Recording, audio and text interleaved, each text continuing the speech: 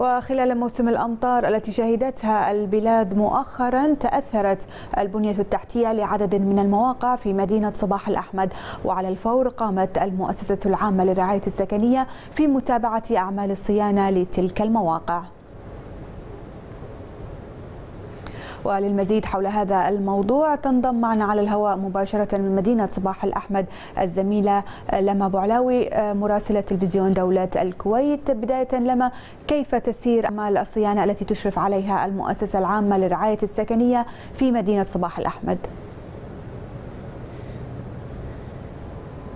نعم يعطيك العافية مشاهدينا الكرام. كما يعلم الجميع كمية الأمطار الكبيرة التي شهدتها البلاد في الآونة الأخيرة كان لها تأثير كبير على البنية التحتية في مدينة صباح الأحمد. طبعا المؤسسة العامة للرعاية السكنية كان لها دور كبير وواضح في الإشراف وتكليف الشركة المنفذة ضمن الكفالة العشرية للقيام بأعمال الصيانة. ولتسليط الضوء أكثر معنا المهندس إبراهيم الناشي المتحدث الرسمي باسم وزاره طبعا المؤسسة العامة للرعاية السكنية. حدثنا عن أبرز الإجراءات. بسم الله الرحمن الرحيم. بداية نشكركم كوزارة الإعلام متمثل في قناة الكويت.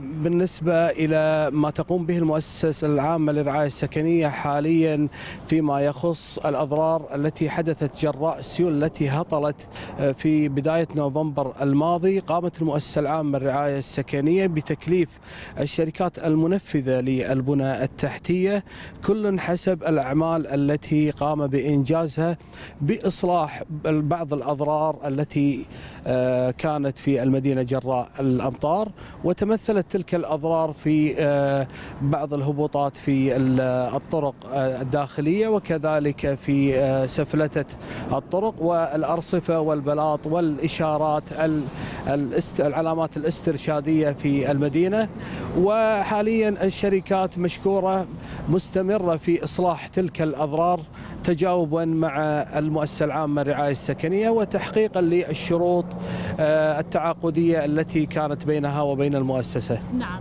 مهندس كما تعلم أن فترة هطول الأمطار كانت عبارة عن ثلاثة مراحل والمؤسسة العامة للرعاية السكنية قامت بتشكيل فرق لحصر ومعاينة هذه الأضرار بصورة دورية ورصد هذه أضرار تداعيات هطول الأمطار. كيف كانت المتابعة؟